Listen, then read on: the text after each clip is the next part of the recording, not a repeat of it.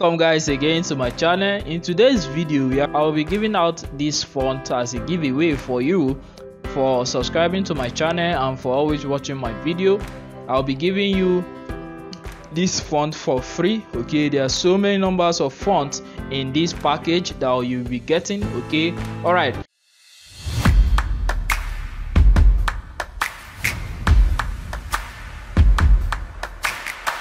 So the link to this font will be in the description so go and download this font and watch make sure you watch this video to the end so that you know how to install this font into your pixel lab okay? So when you're done downloading the font which i will link in the description in the description okay? When you're done downloading the font you can use um, any um, any zip because the font will be in a zip file so extract that zip file and watch this video to the end so you will know how to install that font okay? To install the font i'll quickly do this because i have a video on how to install font on this channel okay? So to install this font you quickly do this okay? Tap um let's say you want to install the font so tap on um, this default text then go down here to the a alphabet. This is the a alphabet then here scroll down to where you see font okay? So scroll down to where you see font. So tap on the font. When you tap on that font so there are three categories here. Up here there are three three categories okay?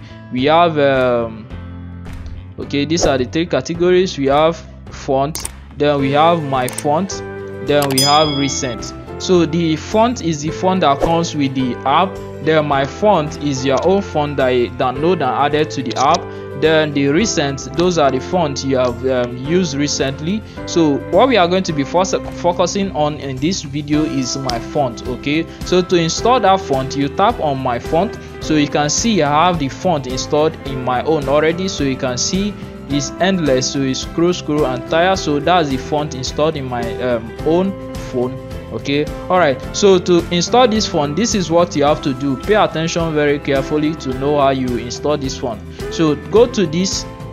There are two options here. We have this and then we have the second icon beside it. We are going to be using the second icon beside it which is this one.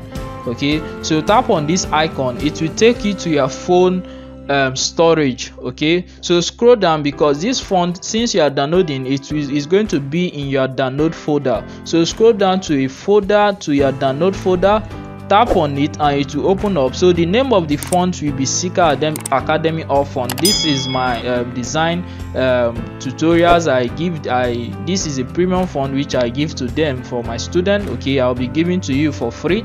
Okay so this is the name of the font. This will be the name of the font. So tap on it. The font has um, subfolders inside. So keep on tapping on it until you go until you get inside to this point. Okay so when you get to this font to this point then you have to tap on the add directory okay? This is a way you can add um, uh, multiple fonts at the same time okay?